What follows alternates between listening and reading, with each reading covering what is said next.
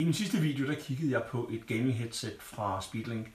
Jeg har lige slået fat i et mere, som øh, jeg har haft et stykke tid, nemlig Strix Wireless fra Asus. Der er markante forskel på to headset, også prismæssigt set. Øhm, så det ikke er ingen sammenligning mellem de to headsets. Men Strix er, lad mig sige det med det samme, et fantastisk godt headset. Det er tydeligt, at Asus de har gamerne for øje, når de laver deres udstyr. Republic of Gamers er ikke noget, de siger bare for sjovt. For lige at starte. Strix kan bruges wireless. Det kræver, at du bruger sådan en lille Bluetooth thingy, der er med.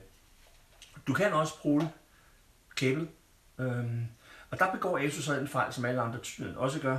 Det er stift kabel. Lidt irriterende. Specielt når man som mig hellere spiller øh, kablet, for at undgå, at det lige pludselig løber tør for strøm under brug.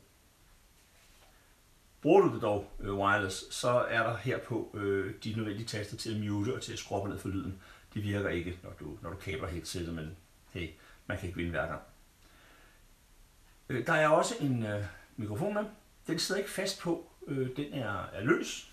Øh, du kan selv sætte den på, når du skal bruge den. Det er jo ikke alle spil, man har brug for at snakke med nogen. Den er relativt hurtigt at sætte på, og så er den helt vildt fleksibel. Den er bygget med materiale, der gør, at du kan sætte den lige præcis, hvor du vil. Det får den altså point for. Det er, det er rigtig sejt. Når det så er sagt, så er rent komfortmæssigt set, så er Asus Strix Wireless meget, meget lækkert. Du skal ikke spekulere på at stille det. Der sidder en, en der er elastik i, øh, i, i hovedbåndet herinde, så du tager det bare på. Og så passer det. Og så kan det godt være, at man ser lidt og tosset ud med kæmpe store hørebuffer. Og, og tro mig, når man har det på sådan her, man hører ikke, hvad der foregår rundt om sig. Det er ikke et noise cancellation headset, i hvert fald ikke aktivt. Øh, men der er rigtig meget passiv øh, støj øh, reducering i stoffet. Det du skal være klar på, det er, at det presser rimelig hårdt på dit hoved. Det er ikke nødvendigvis ubehageligt, men du kan mærke et konstant pres. Øh, dybden her er også rigtig dejligt fin. Du kommer på intet tidspunkt ind at ramme, øh, i hvert fald ikke med mine ører, ind at ramme selve, selve ørekoppen hen. Det er dejligt. Bløde behagelige puder, du kan have dem på rigtig længe, inden de begynder at genere. Og med det, så vil jeg sige, at adskillige timers gaming er ikke noget problem i det her headset. Øh, så komforten er i top. Øhm, de er også dejligt store. De rører slet ikke ørerne, og det, det synes jeg er vildt fedt. Og hvad der er endnu vigtigere, det er, bliver altså lyden. Og Asus dedikerer sig til gamerne, det vil sige, at det her lydmæssigt set er et super godt gaming headset.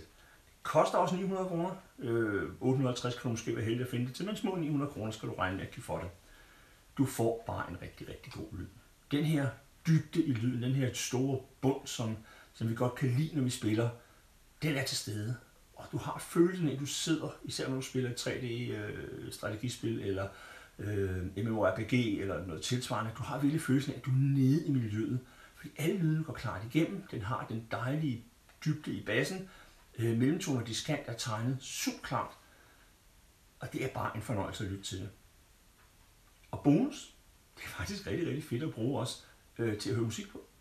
Øh, jeg har siddet og hørt adskillig meget musik på det her headset efterhånden. Og selvom det ikke er et Sennheiser, gen, øh, Sennheiser musikheadset, så, eller, eller øh, Harman Kardon eller JBL, så er det faktisk rigtig godt.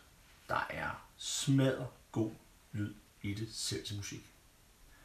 Så her har vi et komfortabelt, godt gaming headset, som giver den lyd, som vi som gamer rigtig, rigtig godt kan lide.